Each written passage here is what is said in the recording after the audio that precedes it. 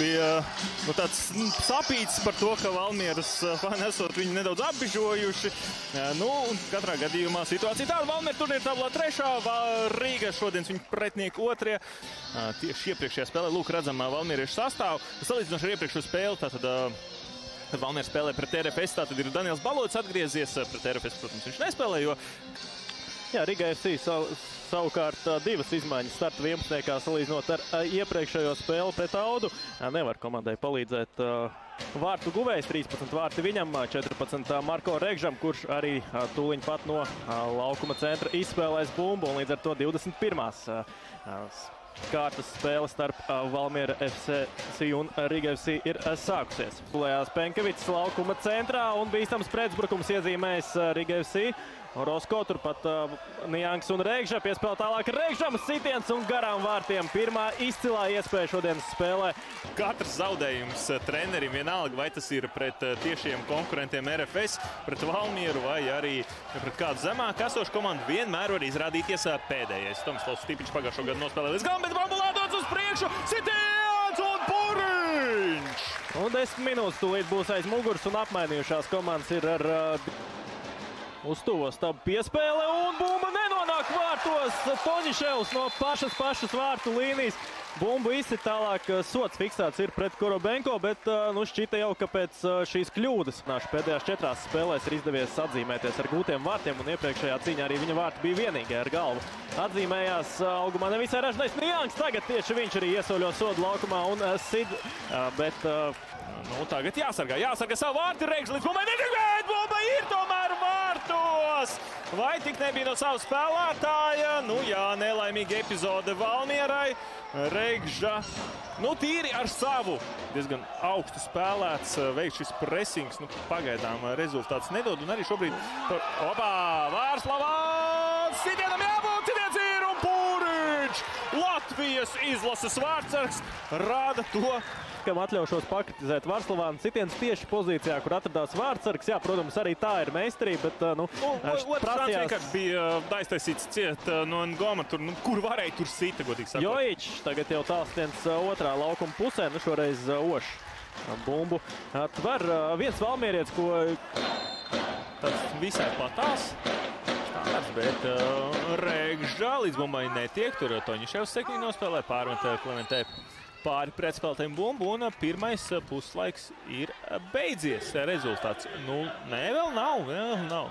Laukumā parādās ar Jā, otro numuru. Viņš ļoti interesanti bija aizčamājies uz, uz komandas rezervis soliņu, nevarēja atrast, kur ir viņa krēkls, un tāpēc arī bija šī te. Paskaties šo epizodi. Vārslavāns. Un nu, pēc tam iziesim cauri sastāviem. Tagad Vārslavāns piespēlēšavam. Jāsīt un nobloķē Ngoms. Kamēr uh, ripoja bumblis, tagad jau ar kreiso malu mēģinās uh, Birka kopā ar partneriem atkal uh, rast sāsinājumu. Bet, nu, redzam, jā, ka pietuvojoties, tomēr nu, šī noslēdzošā fāze nav Valmierai. Un tagad jau pūriņš no tāluma. Šoreiz Alions un Dojs izmēģina uh, spēku. Protams, otrajā stāvā ir uh, rīdziniekiem uh, pietiekami tādi vareni spēlētāji, kuri ar visu šodien tiek galā. Klementē jau soda laukumā. Francūzs pēc tam ir vārtiem!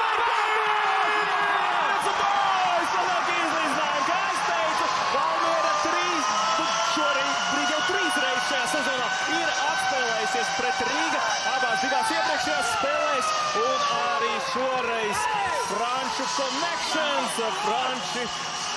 Franciski runājušie futbolisti nokārto vārtu. Kārtīgi karnevāla laukumā, ja viņam ir gara stāvoklis un uh, turpretīm, ja nav, tad atkal, uh, nu, varam par viņu aizmirst, par viņa klātbūtni.